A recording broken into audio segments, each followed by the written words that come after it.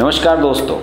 कृषि कानूनों को लेकर पूरे देश में एक अलग तरह का माहौल है।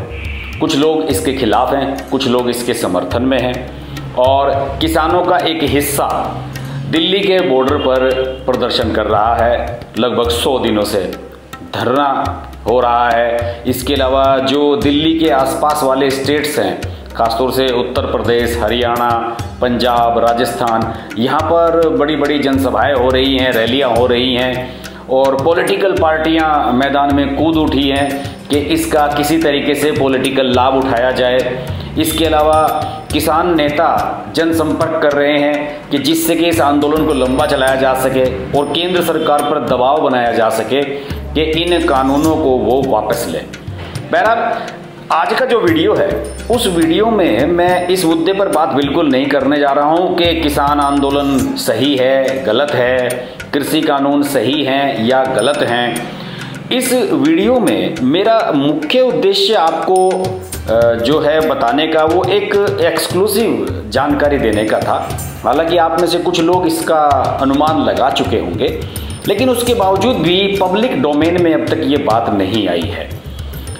पिछले दिनों राकेश टिकैत ने एक कार्यक्रम में ये कहा कि किसान आंदोलन के समर्थन में बीजेपी का एक सांसद एक महीने के अंदर अंदर इस्तीफा देने वाला है।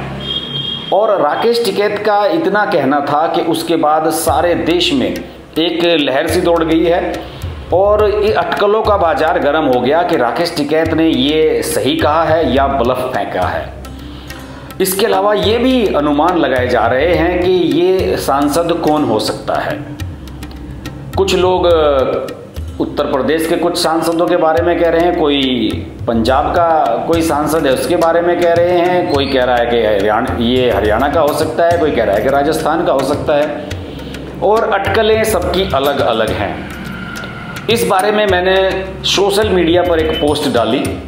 और सोशल मीडिया पर उस पोस्ट पोस्ट के ज़रिए मैंने आम लोगों से और आप लोग जो मुझसे जुड़े रहते हैं उन लोगों से मैंने ये जानने की कोशिश की कि ये बीजेपी का सांसद कौन हो सकता है जो किसानों के आंदोलन के समर्थन में इस्तीफा दे दे।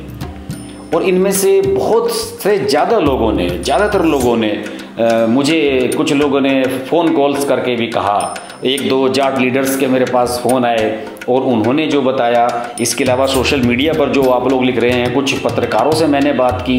तो उसके बाद जो सबसे पहला नाम, नंबर वन पर आ रहा है, सांसदों में कि जो किसान आंदोलन को लेकर इस्तीफ़ा दे सकता है, दोस्तों वो नाम है हिसार के सांसद ब्रिजेंद्र सिंह का। हिसार के सांसद ब्रिजेंद्र सिंह पूर्व आईएएस हैं और आईएएस की नौकरी छोड़कर वो राजनीति में आए और उनका परिवार एक बहुत बड़ा राजनीतिक घराना है हरियाणा का। चौधरी छोटू राम सब लोग जानते हैं। जिस तरह से उत्तर प्रदेश में स्वर्गीय चौधरी चरण सिंह को जाटों के बीच बड़ा नेता माना जाता है, उसी तरीके से हरियाणा में स्वर्गीय चौधरी छोटू राम उनको बड़ा नेता माना जाता है और हरियाणा की राजनीति में उनका वही दर्जा है जो उत्तर प्रदेश में, खासतौर से पश्चिमी उत्तर प्रदेश में स्वर्गीय चौधरी चरण सिंह साहब का रहा है। और चौधरी छोटूराम के नाम पर कोई कई कॉलेज और इंस्टीट्यूट्स चलते हैं और उनका बड़ा सम्मान है जगह जगह उनकी प्रतिमाएँ लगी हुई हैं और हरियाणा में वो एक बड़ा नाम रहे हैं, इसमें कोई शक नहीं है। और ये पूरा परिवार एक राजनीतिक क्रम में जुड़ा हुआ है इस पूरे सिनेरियो में, जिस समय चौधरी छोटूराम हुए उस समय हरियाणा और पंजाब एक ही हुआ करते थे।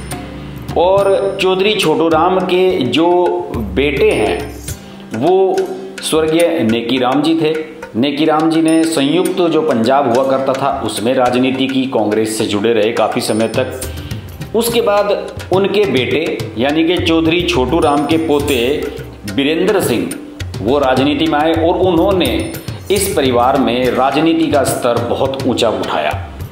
वीरेंद्र सिंह लगातार राजनीति में रहे और उन्होंने लगभग 42 साल तक 42 इयर्स तक उन्होंने कांग्रेस की सेवा की। वो कांग्रेस से जुड़े रहे और एक हिसार लोकसभा क्षेत्र में ही एक विधानसभा सीट है उचाना। वहाँ से वो पाँच बार एमएलए रहे। हिसार पूरा जाटों का गढ़ है। और बीरेंद्र सिंह की राजनीति वहाँ लगातार बढ़ती रही। पहला चुनाव उन्होंने उन्नीस सौ बहत्तर में लड़ा। कुछ छोटे चुनाव भी लड़े, ब्लॉक प्रमुख वगैरह भी रहे, वो छोटे पदों पर भी रहे। उसके बाद 1977 से और सन 2000 के बीच में वो पाँच बार उचाना से एमएलए रहे। और जब वो खुद एमएलए नहीं रहे उचाना से और सांसद बन गए तो उनकी पत्नी प्रेमलता वहाँ से विधायक रही। पूरा परिवार राजनीति पर छाया रहा लंबे समय तक। जब वो विधायक रहे बीरेंद्र सिंह तो उस दौरान वो तीन बार हरियाणा की अलग अलग सरकारों में कैबिनेट मिनिस्टर भी रहे। पूरा रुतबा रहा उनका। इसके अलावा उन्हें तीन बार सांसद बनने का भी मौका मिला। एक बार लोकसभा से, दो बार राज्यसभा से। लोकसभा से वो चुनाव जीते उन्नीस सौ चौरासी में, जब इंदिरा लहर थी और राजीव गांधी प्राइम मिनिस्टर बने थे। हिसार से उन्होंने किसे हराया था? ओम प्रकाश चौटाला जैसे दिग्गज को भारी अंतर से हराया था बीरेंद्र सिंह ने।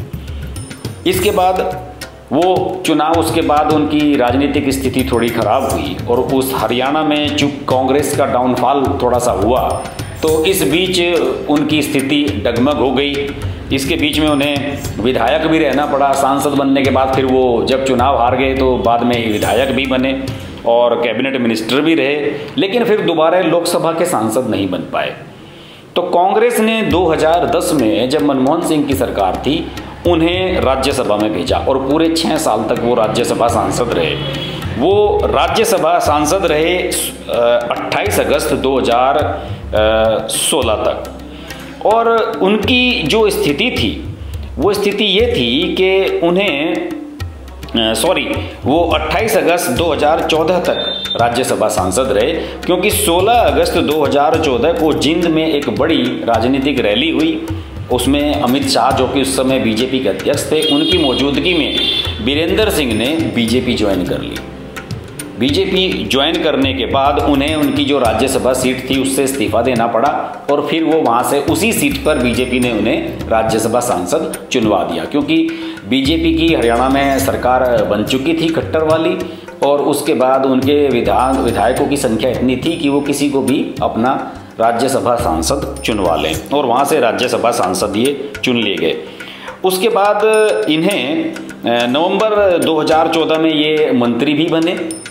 और जो मनमोहन नरेंद्र मोदी की पहली सरकार थी, उसमें ग्रामीण विकास, पंचायती राज सैनिटेशन पेयजल स्टील आदि कई डिपार्टमेंट्स को इन्होंने देखा और मिनिस्टर रहे। लेकिन जब 2019 का लोकसभा चुनाव नज़दीक आया तो स्थिति बदलने लगी। एक तो 75 प्लस वाली कैटेगरी आ गई वीरेंद्र सिंह की, और इसके अलावा बीजेपी ने एक पॉलिसी बनाई कि एक परिवार, एक टिकट। अब चूँकि बीरेंद्र सिंह खुद राज्यसभा सांसद थे, उनकी पत्नी विधायक थी पिछली बार उचाना से, और इस बार वो चाह रहे थे कि अपने बेटे ब्रिजेंद्र सिंह को, जो कि 1998 के आईएएस हैं, उनको वो अपनी जगह पर टिकट दिलवा दें। मतलब हिसार सीट से टिकट दिलवा दें। लेकिन उनसे कहा गया कि भाई आपको फिर राज्यसभा सांसद हम नहीं बनाएँगे और आपको भी टिकट नहीं मिल सकता। तो इस तरीके से उन्होंने अपनी कुर्बानी दी और बेटे को आगे बढ़ा दिया। उनके बेटे ब्रजेंद्र सिंह काफ़ी पढ़े लिखे हैं। दिल्ली के सेंट स्टीफन्स कॉलेज से बीए ऑनर्स हैं। उसके बाद जेएनयू से एमए की और 1998 के हरियाणा कैडर के आईएएस थे। उसके बाद नौकरी छोड़ दी। और बड़े ही एक जोरदार कॉन्टेस्ट में ब्रजेंद्र सिंह ने 19 2019 का चुनाव जीत लिया हिसार से। और उन्होंने किसे हराया था? दुष्यंत चौटाला को। यहाँ पर असली बात शुरू होती है, जो कहानी यहाँ से शुरू होती है। दुष्यंत चौटाला यहाँ से जननायक जनता पार्टी, जो उन्होंने नई पार्टी बनाई थी, इंडियन नेशनल लोकदल से अलग होकर। तो उसके बैनर पर उन्हें हराया उन्होंने और ब्रिजेंद्र सिंह को छः लाख तीन हज़ार के करीब वोट मिले थे और दुष्यंत चौटाला को दो लाख नवासी हज़ार वोट मिले। काफ़ी डिफरेंस रहा। कांग्रेस के बैनर पर भजन लाल के पोते भव्य बिश्नोई थे, यहाँ पर वो भी एक एक लाख चौरासी हज़ार वोट ले गए तो दुष्यंत चौटाला हार गए इस तरीके से। और ये बन गए सांसद ब्रिजेंद्र सिंह। जबकि दुष्यंत चौटाला 2014 में यहाँ से सांसद थे। और उन्हें चार लाख चौरानवे हज़ार वोट मिली थी इंडियन नेशनल लोकदल के बैनर पर। उन्होंने भजनलाल के बेटे कुलदीप बिश्नोई को हराया था यहाँ से। बहरहाल, मैं ये सब चीज़ें इसलिए बता रहा हूँ कि पूरा परिवार हमेशा राजनीति में रहा। राजनीतिक जो भी पावर में रहे उनका फ़ायदा उठाया। जब कांग्रेस अपनी ताकत पर रही, कांग्रेस में रहे। जब बीजेपी उठने पे आई तो बीजेपी में शामिल हो गए। इसके अलावा पिताजी मंत्री रह लिए, इसके अलावा माँ विधायक रह ली, और उसके बाद ब्रिजेंद्र सिंह बिना कुछ करे ही मोदी लहर में सांसद बन गए। अब इसके बाद एक जो मंशा थी बीरेंद्र सिंह की, उनकी मंशा ये थी कि उनके बेटे ब्रिजेंद्र सिंह को भी मंत्री बनाया जाएगा केंद्र में। ये उन्हें बहुत बड़ा अफसोस रहा कि ना तो वो तो मंत्री रहे, नहीं, उनसे मंत्री पद से इस्तीफा देना पड़ा, क्योंकि वो वहाँ से अपने बेटे को टिकट दिलाना चाहते थे। और बेटे को भी टिकट तो दिया, वो सांसद भी बने, लेकिन उन्हें मंत्री नहीं बनाया मोदी जी ने। और इसी बात की नाराज़गी उन्हें 2019 से चल रही है। अब फ़िलहाल चर्चा यही है कि वो इस्तीफ़ा दे सकते हैं। लेकिन इस्तीफ़ा देंगे तो उपचुनाव होगा, क्योंकि अभी तीन चार साल के करीब अभी यहाँ पर चुनाव में समय है। 2024 में लोकसभा का चुनाव हो रहा है और उपचुनाव में ये फिर क्या करेंगे? ये एक बहुत बड़ा सवाल है कि क्या निर्दलीय लड़ेंगे चुनाव? तो इतनी हिम्मत नहीं है कि चुनाव जीत पाएँ। और किसी दूसरी पार्टी से लड़ेंगे तो भी स्थिति सॉलिड नहीं बनेगी, क्योंकि सामने कोई ना कोई बीजेपी का बड़ा जाट नेता ही आएगा इनके सामने चुनाव लड़ने के लिए। तो फ़िलहाल इनको, इनकी, इनके बारे में अटकलें इसलिए लगाई जा रही हैं क्योंकि इनकी एक वीकनेस है। और उस वीकनेस को लोग उछाल रहे हैं कि ये ही इस्तीफ़ा दे सकते हैं ब्रजेंद्र सिंह। मैं ये नहीं कह रहा कि ये सच में इस्तीफ़ा देने वाले हैं, लेकिन जितने भी लोगों पर मैंने डिस्कशन किया, जितने लोगों से मैंने चर्चा की, जो नाम मेरे सामने आए, उनमें ये ही नाम सबसे प्रोमिनेंट था, क्योंकि पिछले दिनों राकेश टिकैत ने हिसार और हरियाणा में कई जगह कार्यक्रम किए। हो सकता है कि उनकी मुलाकात हुई हो और ऐसी इच्छा ब्रजेंद्र सिंह ने ज़ाहिर की हो। लेकिन यहाँ एक बहुत बड़ा मैं सवाल आपको बता दूँ कि ब्रजेंद्र सिंह अगर इस्तीफ़ा देकर दोबारा चुनाव लड़ना चाहेंगे तो उनके लिए आसान नहीं होगा। हिसार जाटों का गढ़ है, लगभग पंद्रह सोलह लाख के करीब यहाँ टोटल वोट हैं, जिनमें पाँच लाख जाट वोट हैं, एक लाख अस्सी हज़ार के आसपास ब्राह्मण वोट हैं, पैंसठ हज़ार पंजाबी हैं, छत्तीस हज़ार बिश्नोई हैं, चार लाख के करीब बाकी अन्य वोट हैं, एससी, ओबीसी वगैरह जितनी सारी वोटें हैं। तो अगर विजेंदर सिंह किसी भी अन्य पार्टी से चुनाव लड़ना चाहेंगे तो उन्हें निश्चित रूप से जाटों में वतों का विभाजन देखना पड़ेगा। अगर बीजेपी भी जाट को यहाँ पर टिकट देगी तो जाटों में विभाजन होगा और ज़रूरी नहीं कि हंड्रेड परसेंट वोट ही नहीं मिले। आधे भी वोट दूसरे को मिले तो ब्राह्मण, पंजाबी, बाकी सारी वोट तो बीजेपी के पास ही जानी है। तो ब्रजेंद्र सिंह इस उहापोह में भी ज़रूर होंगे कि इस्तीफा दें या नहीं, कह तो दिया। लेकिन इस बारे में अभी तक न राकेश टिकैत ने कुछ कहा है, न किसी और ने कुछ कहा है। इसके अलावा ब्रिजेंद्र सिंह की पीड़ा ये भी बताई जाती है कि दुष्यंत चौटाला जी ने उन्होंने जिन्होंने उन्हें, जिनको हराकर वो लोकसभा पहुँचे उनके साथ मिलकर हरियाणा में खट्टर साहब ने सरकार बना ली। जब जेजेपी की दस विधायक जीत कर आ गए और हरियाणा में ज़रूरत पड़ी दूसरी बार खट्टर साहब को तो उनकी सहायता ले ली गई। तो इस हिसाब से भी उनके अंदर थोड़ा सा मुझे लग रहा है कि एक फ्रस्ट्रेशन होगा कि देखिए, जिस चौटाला को मैंने हराया, जो मेरे सामने मुकाबिल खड़ा था, उसी को आपने डिप्टी सीएम बना दिया और मुझे कुछ भी नहीं दिया।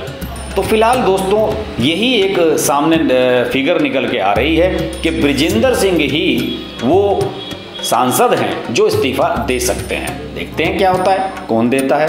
आप देखते रहिए हर्ष की बात लाइव। नमस्कार। अगर आपको हमारी वीडियो पसंद आई तो वीडियो को लाइक करें, चैनल को सब्सक्राइब करें और नोटिफिकेशन के लिए बेल आइकन को प्रेस करें।